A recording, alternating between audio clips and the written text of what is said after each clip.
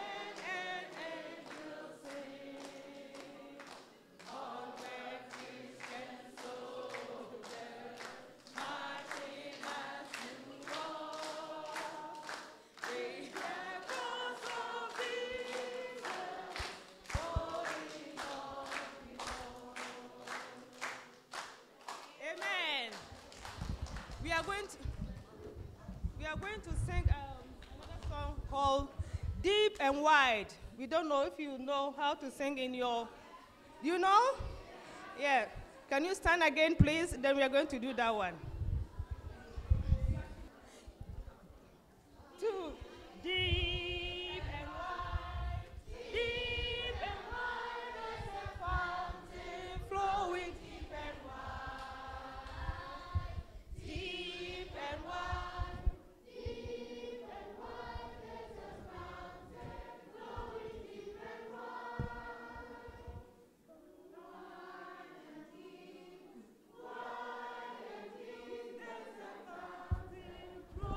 deep deep, wide and deep, wide and deep does the fountain flow? deep and wide. I think uh, we have a, a bit different way to sing that song. So if you don't mind, and we will do one, yeah? And then we see. Be this one, okay. I think this one sounds.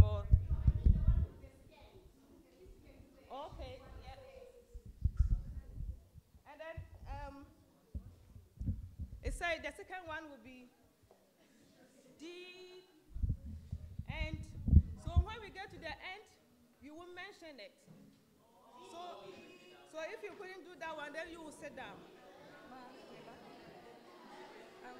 hello? Hello?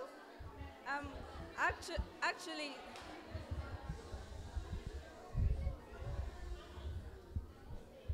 actually, th- there are rules in this um, in this song. It's, it goes like um, after we after we all sing the whole thing, the second round, we are not going to we're not going to mention some some of the words, but we we are going to do the action.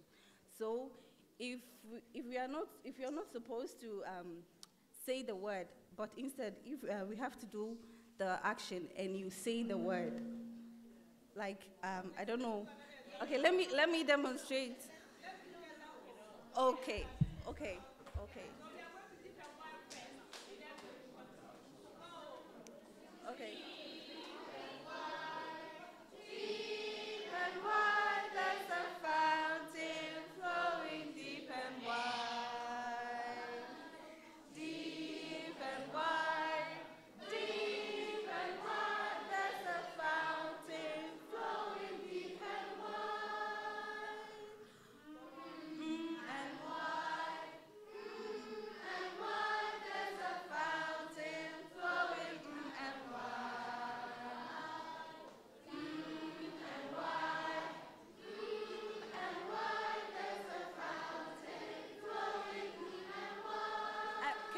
Something?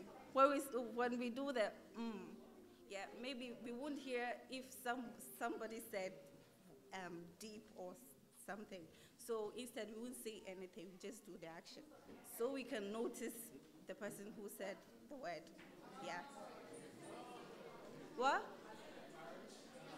Yeah, so if you say if you say the word, it means you are out. You have to sit down, then we continue. Okay, let's go. Deep and wide, let's start. Deep and wide, there's a fountain flowing deep and wide.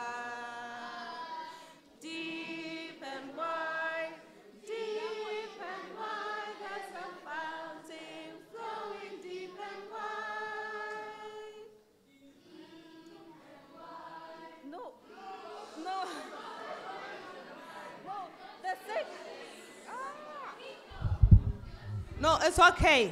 It's all right. We are going to do it. We are going to do this one uh, or to the end, and then you know maybe next time we can do that because of time. We don't want to take your time. Okay? Yeah. So we are going to do one to the end, and then we continue.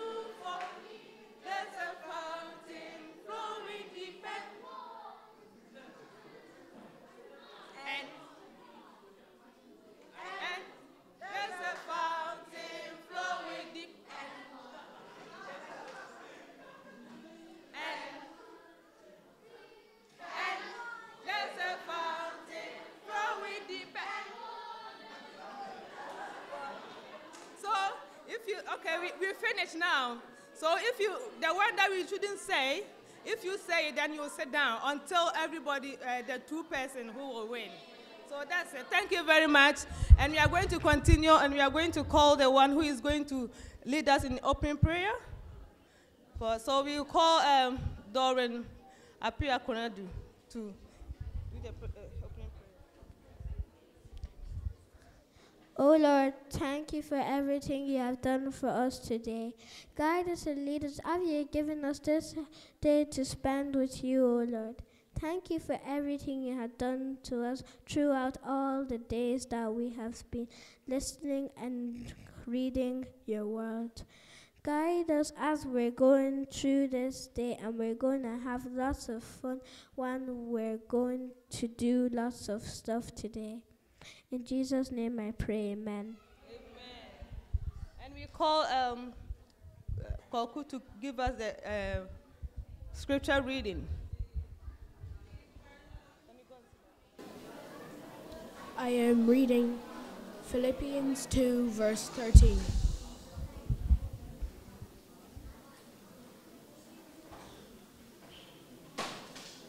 For it is God.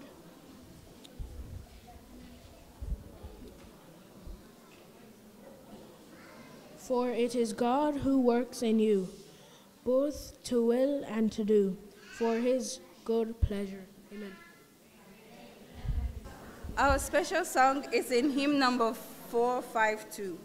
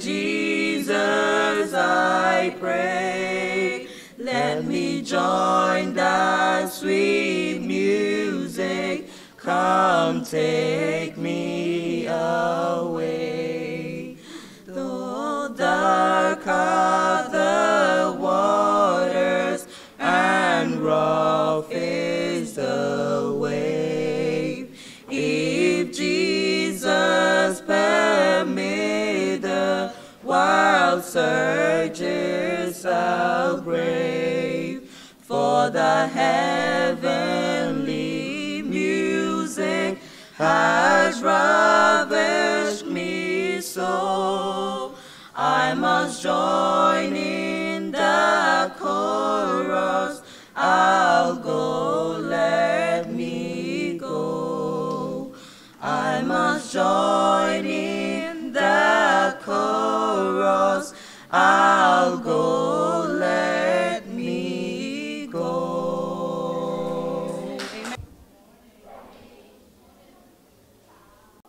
cutting off the hand. Often it seems that to surrender the will to God is to consent to go through life maimed or crippled. But it is better, says Jesus. It is better for self to be maimed, wounded, and crippled, if thus we may enter into life. Wow. Now, what is the wheel? Let me explain this to you. How many of you have ever, well, how many of you play an instrument? Let me see your hands. Okay, a lot of you play instruments. All right, put your hands down. How many of you play sports? Let me see your hands. I mean, like, not just, oh, let's go out in the backyard and throw the ball around, but you, you play for a team, you you run track, you do whatever, whatever. Okay, great. Put your hands down. So you all, how many of you go to work every day? Let me see your hands. Ah, see, not so many hands. Okay, somebody said, okay, I go to school. All right, now listen. Let me ask you a question. Do you want to get up and go to work every day? No. All right, you didn't even want to get up this morning. All right. Do you feel like practicing your instrument every day? Sometimes you have to be encouraged by your parents or your teachers to practice, right? So even though you don't want to do it, you end up, even though you don't feel like getting up and going to work, you, when you are exercising, let's say you are a part of a sports team, and a part of getting in shape is you got to do what? But one of the things you have to do is you got to run, right? That builds up your endurance. Now, when you run, there are like these two little people on each side of your shoulder, right? The one person is whispering, keep going, keep going, keep going, don't stop. But the person on the other side is not whispering, he's screaming, man, what are you doing? Stop, sit down and rest. You look crazy out here. Is a lion chasing you? Oh, then why are you running like a lion is chasing you? Take it easy. But if you want to make the team and if you want to build your endurance, you have to ignore the voice that is shouting, Stop, stop, stop. And you have to listen to the voice that sometimes is whispering, Don't stop, don't stop, keep going. If you're playing the guitar and your fingers begin to hurt, you have to keep on pressing and pressing. If you're playing the violin and your fingers hurt, if you're practicing the piano and your fingers are sore and you got, ah, you have to keep going and going. All of those things that we've just talked about are examples of the will in action. They're examples of what? The will in action. So each and every one of us knows how to exercise the will. The will is the driving force. It is the what? It is the driving force in every human being. But as we just read, it is through that will that sin retains a hold on our lives.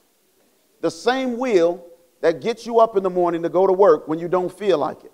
The same will that moves you to practice your instrument when you're tired and you don't want to. The same will that pushes you to keep running even though you want to stop. It is through that same mechanism that the enemy of your soul keeps you a slave to sin. So let me tell you what I used to think. I used to think this that if I were to become a Christian, then God would make me a slave. He would make me a what? So I would pray, Lord, please just make me do right. You ever thought about that? You ever wanted God to just make you to do what's right? Because you're like, man, it's too hard for me not to do wrong. But God, if you can come into my life and if you can force me to do right, then I'll be all right with that because I give you permission to force me to do what I know is right. But let me tell you, my friends, something that I discovered is God can never work like that. He does not work like that, and he can never work like that. Let me read another very, very important thing to you here. This is from our scripture text, Philippians chapter 2, verse 13. Do you remember it? For it is God which worketh in you both to will and to do of his good pleasure. For it is God which worketh where? in you both to to will and to to do. Now I made my own little translation. This is the Conway translation here. I want you to listen to this. God provides the stimulus. You know what that means, yes? God provides the stimulus that awakens our desire to be saved. Then God enables us to make the decision to accept salvation. God then supplies you and I with the energy that we need to make our decisions effective so that salvation is experienced in our lives. How many of you have ever made a decision? Let me see your hands. Come on, raise your hand. You've made a decision. Now put your hands down. Now, how many of you have made a decision and then didn't do what you decided that you would do? Let me see your hands. You know, I'm going to study real hard so that I don't have to cram at the last minute for my test. I'm going to use my time wisely. And then, oh, I haven't studied. And so you try to cram everything in at the very last minute. You and I are experts as human beings at making decisions and then not following through with what we have decided that we will do. That's why the Bible says, It is God which worketh in you both to will, that is to choose. It is God which worketh in you both to will and to do of his good pleasure. Now, how does that how does that take place? Oh man, help us, Holy Ghost. It will require a sacrifice. Listen, it will require a what? It will require a sacrifice to give yourself to God, but it is a sacrifice of the lower for the higher, the earthly for the spiritual, the perishable for the eternal. Listen, friends. God does not design that your will should be destroyed. Let me say that again. God does not design that your will should be destroyed. Why? For it is only through the exercise of the will that we can accomplish what God would have us to do. So, how does that work? Our will is to be yielded to God that we may receive it again. That we may receive it again. Purified, refined, and so linked in sympathy with the divine that he can pour through us the tides of his love and power. Now, one of the things that my father does is he's actually a, a, a diesel tech or a diesel mechanic, but one of his hobbies is to restore old cars. So he has a car from like 1920, he has a car from 1930, he has a car from 1960. So he has taken these cars. When he got them, they were rusted out, corroded, broken down. And when, when you would see them today, they would look like they are brand new. He has completely restored them. When you open up the hood and you look at the engine, it's so clean that you could eat off of it. Amazing, right? Well, what this says to us is that God takes your will and mine. It's perverted, it's corrupted. What do I mean? I mean, the only time that you and I exercise our wills is for our own selfish benefit. So, because I don't want to get embarrassed, I'll do more than I normally would so I can avoid embarrassment. That's the will. Because I don't want to be made fun of, I will work harder than I usually or normally would work so that no one will make fun of me. That's an exercise of the will. But our wills, as we said, are perverted and selfish. So God takes our wills, He purifies it, He refines it, and He links it together in sympathy with His own divine will. What does that mean? It means that you will desire to do the things that God desires you to do. Man, isn't that amazing? And you won't even have to try very hard to think about it. You know how sometimes, okay, I gotta be good, I gotta be good, I gotta be good, I gotta be good. Oh Lord, forgive me for being bad, forgive me for being bad, forgive me for being bad.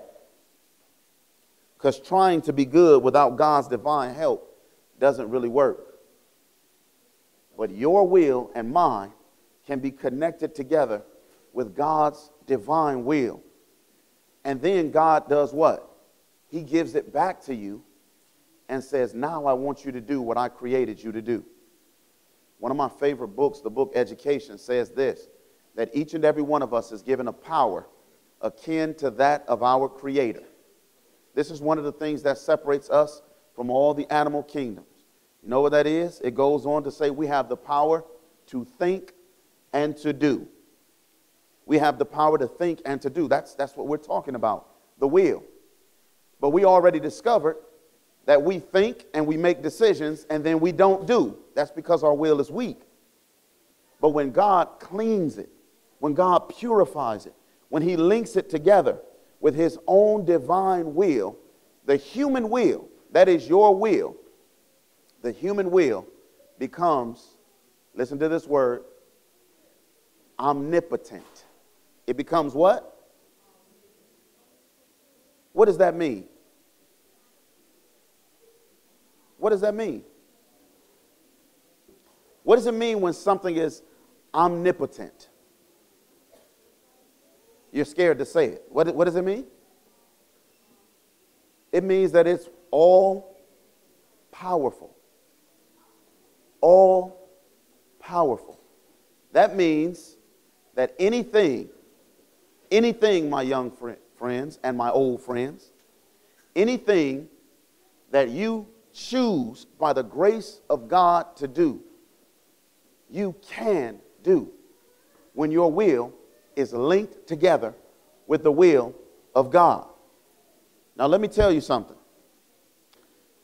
There's a time in the Bible when the will of human beings was bent towards evil.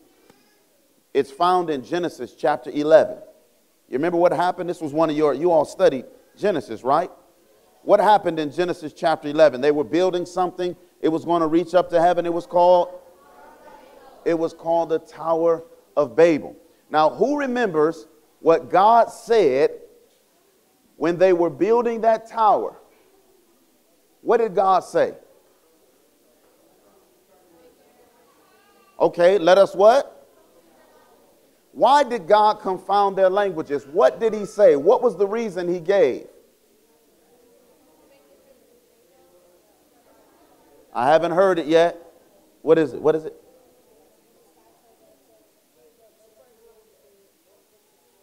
So they wouldn't be able to fix, finish fixing the tower? No, no, no, no. There's something else. It has something to do with the number one. Go ahead.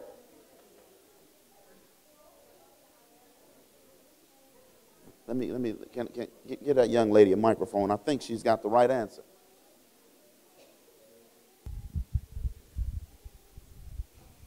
The people are strong, and if they are all united, they'll be, no one will be able to stop them. Mm.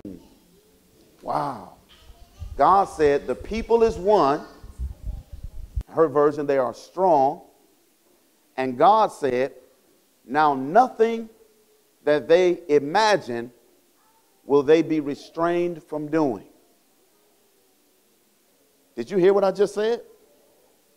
God said that there is nothing that these people can imagine that they will not be able to do. I want you to just marinate on that for a minute. Just think about that. Consider the things that you can imagine today. Consider the things that you can imagine today. And consider God saying that because this young man or this young woman is one with me, there is nothing that they can imagine that they will be restrained from doing. How much can you imagine for yourself for the glory of God? When your will is linked together with God's, all things are possible. All things are possible. But it does take a sacrifice. It takes a very painful sacrifice to give up that which you deem essential so that in fact you can have eternal life. I want to encourage you today. I want to encourage you today that it does take a sacrifice to reach God's ideal, but it is a sacrifice well worth its cost. Well worth it. Well worth it. I want you, my young friends, to be able to reach God's ideal. I don't want anything that is for the glory of God to be withheld or restrained from you. And you can achieve any and everything you can imagine for the glory of God. But first, you must give him your will so that he can then give it back to you, so that you can respond to the movings of the Spirit in your life. Bow your heads with me and close your eyes this morning. Loving Father and our God, you have created us far more fearfully and wonderfully than we could ever have imagined. And yet, Lord, we experience so very little of what you have intended for us to experience. It's not because it's impossible for us to experience these things, but it's because we have not made the type of surrender that is necessary in order for us to experience living as you've intended us to live. In our world, Olympic athletes sacrifice so that they might train and push their bodies to the very limits of physiology, all to obtain a gold medal. Musicians sacrifice hours upon hours to train so that they could reach the very pinnacle of their individual musical pursuits or professions, all for money and fame. But what we have been talking about is not a gold medal, it's not money, it's not fame, it is eternal life. Oh Lord, I pray this morning that the reality of what we are speaking about would settle in in the minds and hearts of all of my young friends. And I pray that the sacrifice that is essential, if we would reach your ideal for us, I pray that we would gladly make that sacrifice and yielding our wills to you. Then, Father, when you have purified and refined our wills, I pray that we may receive them again and use them for your name's honor and glory. Forgive us today for our laziness when it comes to spiritual pursuits. Forgive us for more aggressively pursuing academics and sports more than we pursue eternal life. And I pray, dear Father, that you would give us a zeal and give us a desire, a hunger, and a thirst for that which is spiritual, that which is eternal. Thank you, Lord, for placing omnipotence within our reach. In Jesus' name, amen.